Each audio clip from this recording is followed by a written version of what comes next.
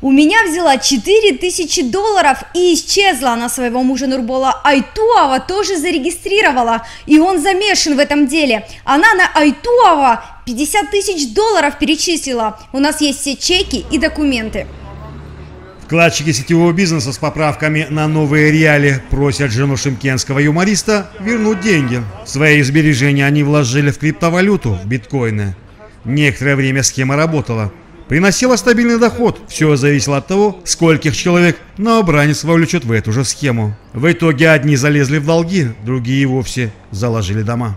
Сейчас карантин, все в онлайн-режиме проходит, поэтому в онлайн-режиме работает эта валюта. Если имеются деньги, вкладывайте. За 45 дней ваши 2000 долларов возвратятся 10 тысяч долларами, заверила нас. По словам вкладчиков, жена артиста Нурбулайтува заверила, что майнинговый пузырь не лопнет.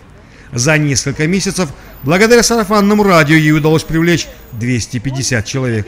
Все как один перечислили деньги Жене юмориста. Всегда радовавший своими шутками артист на этот раз их сильно разочаровал. По крайней мере, так утверждают эти люди.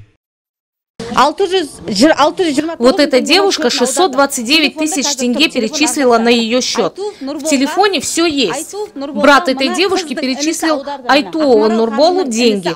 Лично я сама перечислила 1 миллион тенге Алтынай.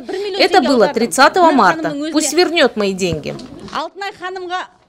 Жена юмориста заявила, что она сама стала жертвой финансовой пирамиды. Алтынай Серғазықызы, как и сотни других обманутых вкладчиков, поверила обещаниям и внесла приличную сумму. Известный муж к этой схеме не имеет никакого отношения. Я сама стала жертвой. Меня тоже пригласили в эту компанию. Не я ее создала. Мой муж к этому делу не имеет никакого отношения. Связаться с юмористом, якобы ничего не подозревающим, о том, во что вязалась ее супруга, не удалось.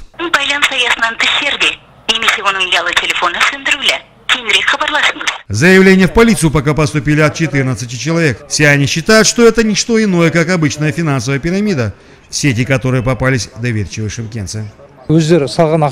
Их вклады пока не потеряны, стоят на счетах, но эти деньги не могут снять и не могут воспользоваться ими. Эта фирма зарегистрирована в Австралии и Беларуси. Якобы эта фирма не отвечает на письма и сообщения. Разбираться с вкладами в криптовалюту полицейским Абайского района Шимкента приходится впервые. Точное количество потерпевших предстоит посчитать, как и сумму, которую они потеряли. Шакир Умаров, Абзал Турабеков, информационная служба телекомпании «Отирар».